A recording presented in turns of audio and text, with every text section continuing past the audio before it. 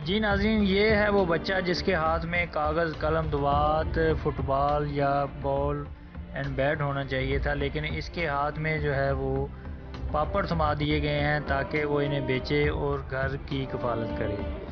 ये बच्चा बाज़ार गलियों में जाता है, पापड़ बेचता है और अपने माँ बाप का, अपने छः बहन भाइयों का पेट पालता है।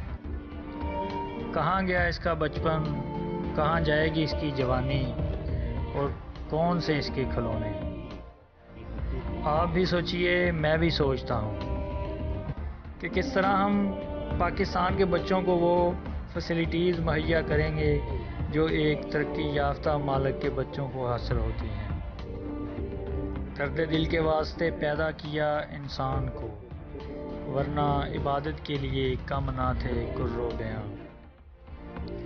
आइए आपको मिलवाते हैं इस बच्चे से और इसके घर वालों से।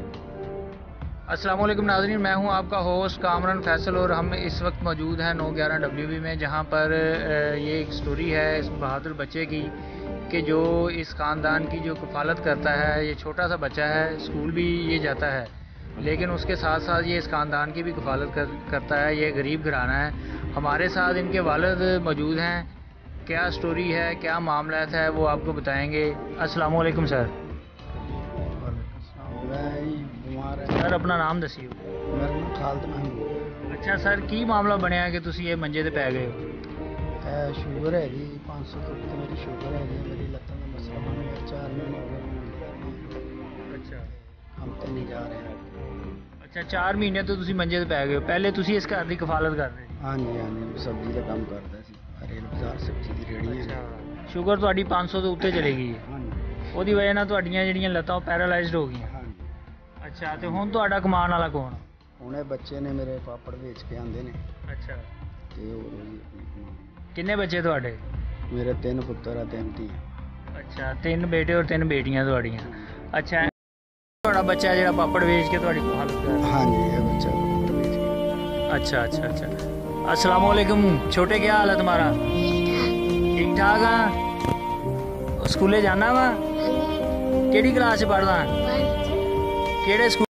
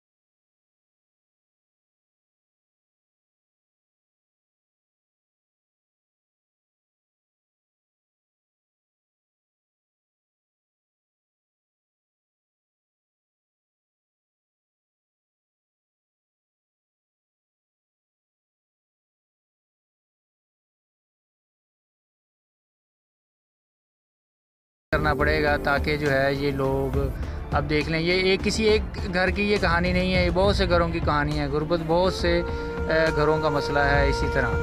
तो ये आपके अपने बच्चों की बात सुनी बच्चा माशाल्लाह, इसके इसके सर पे हाथ भी हमें रखना चाहिए। ये वो लोग हैं कि जो अगर 300 ये कमा रहा है तो फ़र्ज़ करें, हंड्रेड ये मुनाफा ले जाता होगा, डेढ़ सौ ले आता होगा। तो उसमें इनका क्या घर का खर्चा चलना है और क्या इनके मामला होने हैं? घर की हालत में आपको दिखा देता हूँ। आपको जो है वो घर की हालत देख के पता लग जाएगा कि इनके जो इस वक्त हालात क्या हैं। जी नाजरीन, कहानी आपने सुनी। कहानी जो है वो, उसे आप दर्दनाक भी कह सकते हैं। ये एक गुर्बत का मसला था जो हमारे सामने आप ने सुना भी, देखा भी। बच्चे बच्चे जो है अभी छोटे छोटे हैं। बाप उनका जो है वो कमा नहीं सकता।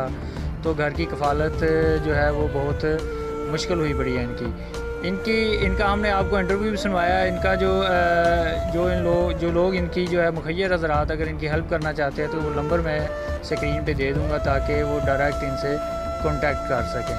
तो ये बात हमारे मुल्क का मसला है, एक बहुत बड़ा मसला है, इसे हमें तरजीही बुनियादों पर हल भी करना पड़ेगा और गवर्नमेंट को ख़ास तौर पे ये बच्चे जो पाकिस्तान का मुस्तकबिल है, ये तारीख ना होने पाए, इस इसलिए भी हमें इस पर जो है वो तवज्जे देनी पड़ेगी। ये वो बच्चा है जिसके हाथ में कापी कलम, दवात, बाई चांस है तो सही, लेकिन इसके हाथ में खिलौने नहीं हैं। ना ये किसी ग्राउंड में, ये ये देख लें भी कितनी बड़ी ज़िम्मेदारी जो है अभी से इसके जो है कंधों पर पड़ गई है। ये छः या सात साल का बच्चा होगा।